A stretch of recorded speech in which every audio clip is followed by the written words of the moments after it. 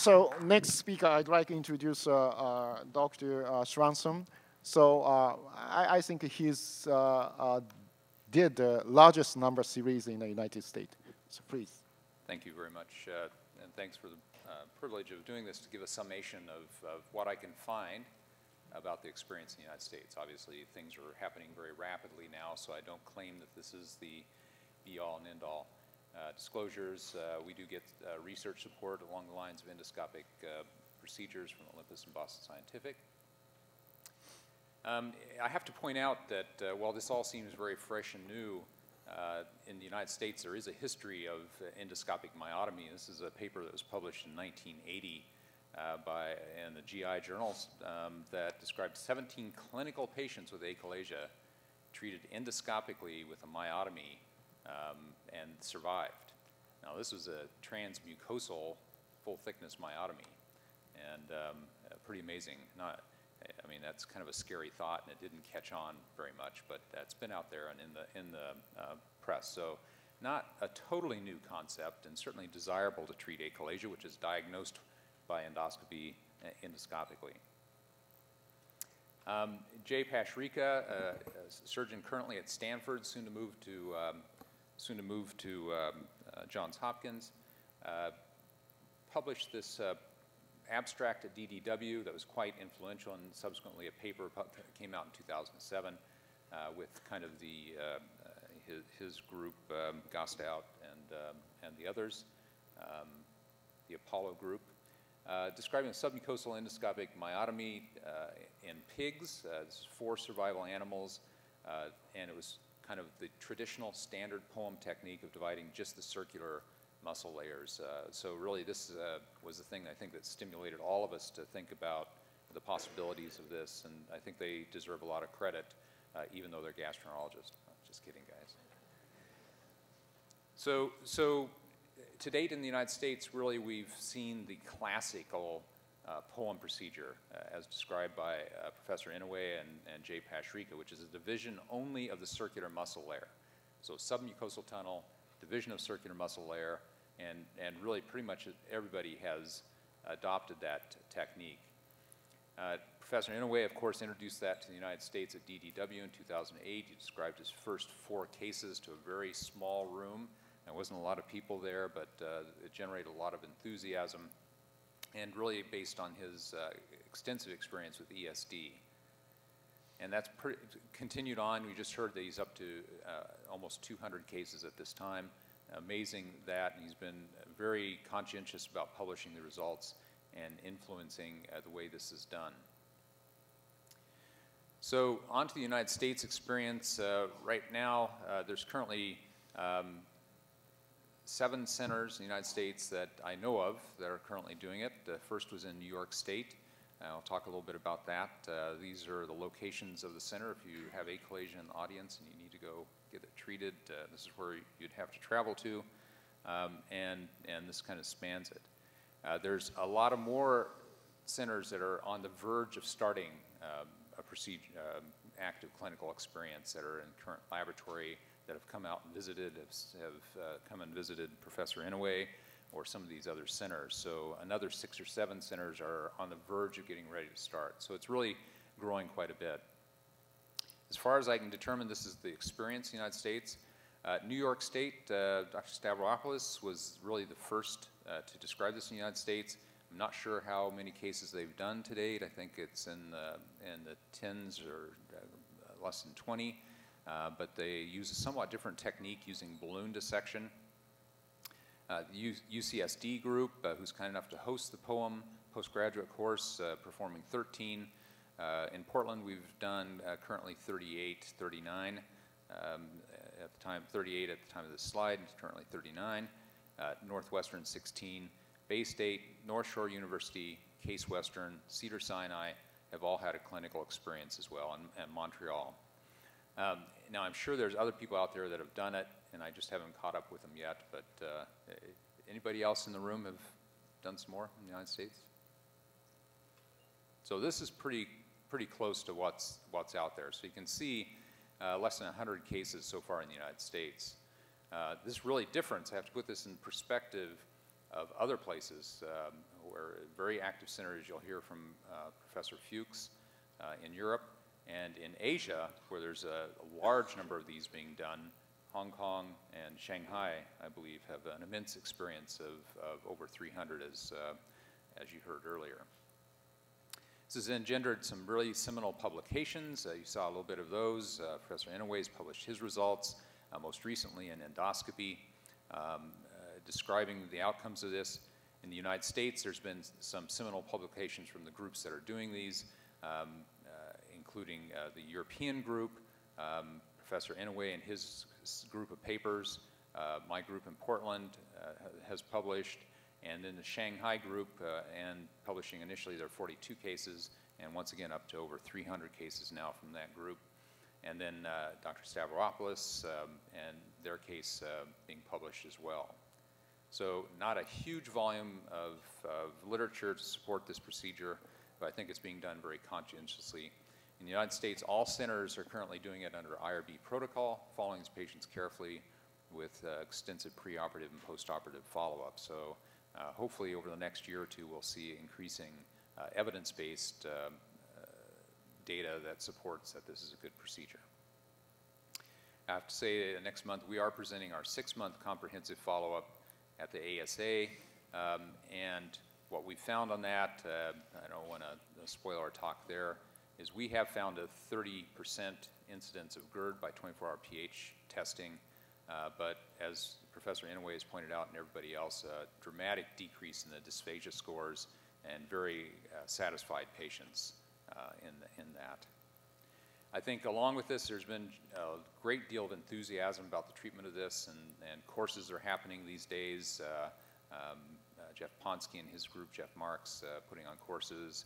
Uh, there's going to be one in North Shore University um, uh, later on this summer. We're putting on a course uh, in May. So uh, in the United States, it's really a happening thing. It's gathered a lot of interest. It's been said um, and predicted based on the early experience of this that in three years, laparoscopic Heller myotomy may no longer be the gold uh, standard in the United States. I think that remains to be seen, but uh, certainly it shows some promise and evidence that that might be the case. I really have to thank Professor Inoue uh, who's one of the great surgical cowboys of all times and uh, really a hero. He won the Berci Lifetime Achievement Award last year. He's unable to be um, there to accept it, but uh, he's really educated almost all the surgeons that are doing this in the United States, and I think we all owe him a, a big debt of gratitude for sharing his time and skills uh, so freely. Thank you.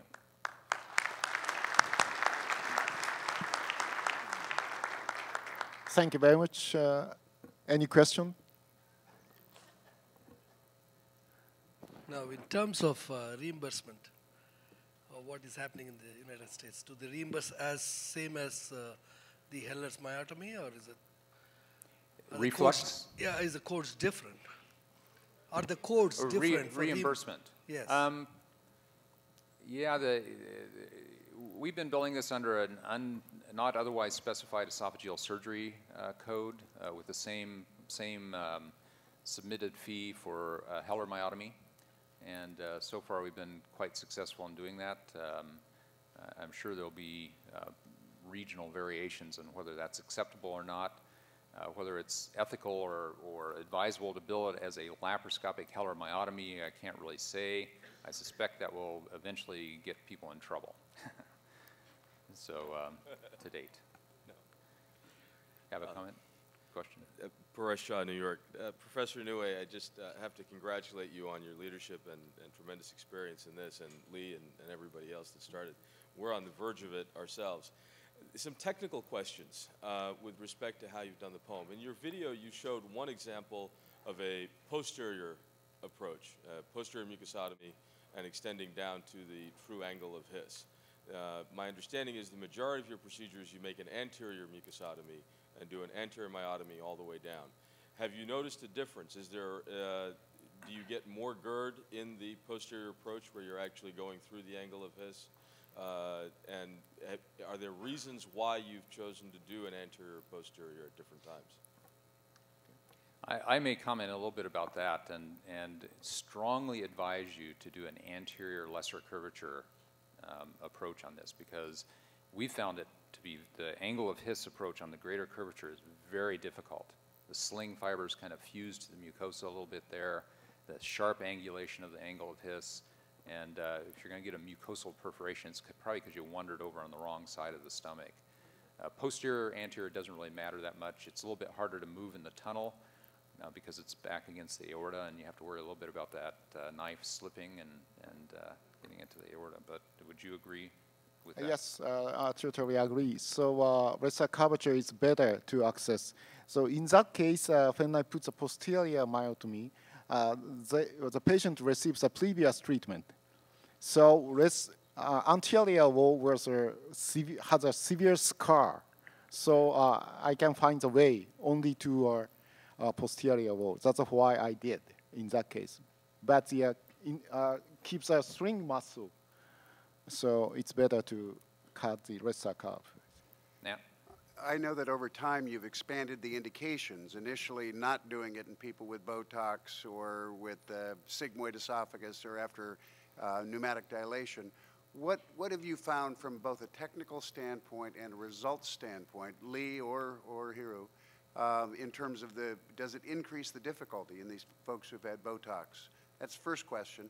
Second question is, we have noted several people with candida at the time that we do the operation. We've backed out on all of those for fear of blowing candida into the mediastinum or something. Do you, do you have a protocol for pre-op uh, nystatin or something like that?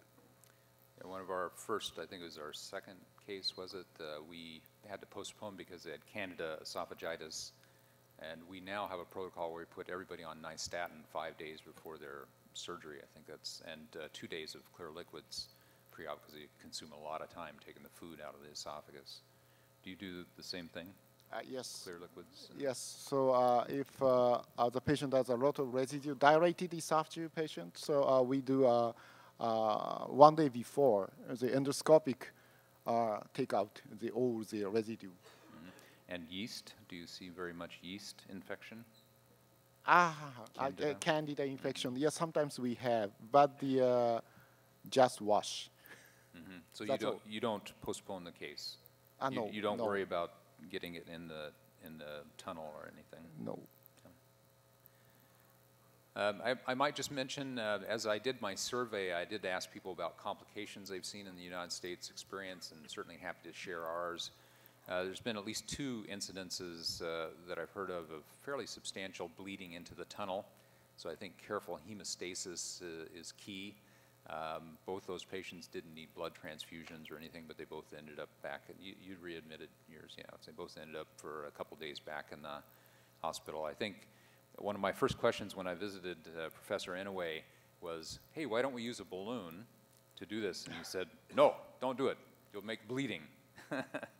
and uh, the the group in New York that uh, were the first in the United States, I believe, uh, use a through the scope regular dilating balloon. But um, when we've played around with balloons a little bit, I think Professor Inoue was exactly right. You can get bleeding from that, and uh, nice, careful hemostasis as you create the tunnel is probably a, a good thing. That's the most serious complication I- I've heard of, although there is a rumor that a patient died on the East Coast uh, following a poem uh, myotomy. Uh, I've never been able to quite substantiate that. It may be an urban myth, but um, it- it's, it's an absolutely true surgery, and I think people have to be careful. Eric? Uh, I was just going to comment on the bleeding issue. Um, Our very first patient, we ran into significant bleeding as well. Um, And it was more of a, um, the patient was very hypertensive during the case. And so we've had to, had very close monitoring or uh, conversation with the anesthesia colleagues. So that patient had significant bleeding. We did make a mucosal perforation, and that actually, that patient um, uh, had recurrent symptoms and actually failed, and we've salvaged with a Heller myotomy. Um, But so bleeding can be a, a significant problem, and so I, I think that the, uh, the, not using a balloon, using the saline injection with epinephrine really helps the, uh, to decrease that, that bleeding, and keeping the, keeping the systolic blood pressure um, about 100 or so. And now to answer your question, the Botox does make it more difficult. We've never had an exclusion for Botox or dilatations, uh, but those cases are definitely more tenacious. You actually get muscle fiber kind of stuck to the mucosa, so you don't get a nice, pretty plane on those. I think people would be wise in their early experience not to do probably the Botox folks. We haven't noticed any difference in the dilation, although we had one patient who had a, a balloon dil- dilatation perforation, and she was quite difficult. There's a lot of scarring. Yes. Well, I was just going to share sort of our experience with that bleeding that we had, and in fact, it was our fourth patient, or so our last in, at McGill, and um, that patient actually presented. So I reviewed the video of, of the procedure, and we had no bleeding during the case. And the patient came back actually three weeks later with atrial fibrillation. Um, and it was only because I was paranoid that I decided to scan his chest and saw that large hematoma in the uh, submucosal tunnel. Um, but it, it's a bit odd that he would come sort of in a delayed fashion like that. I don't know if anybody has any thoughts about what that. You know, he reported no trauma, no coughing, no nothing specifically that I could relate to why this would have happened. You know, I'll say our, our patient was three days post-operative and had a little bit of retching, and um, also was a very dry case. But um, I think that's a possibility. I will also make a comment on our outcomes data. We've had uniformly good success with dysphagia. All of our patients have Eckardt scores of one or zero, but we've had less success with the chest pain. Um, so most of our chest pain patients were better but not all of them were totally resolved to the chest pain. So I think that, like it is with surgery, is a more difficult uh, group of patients, at least for us. All right. Okay, thank you very much, uh, uh, Dr. Schrenst-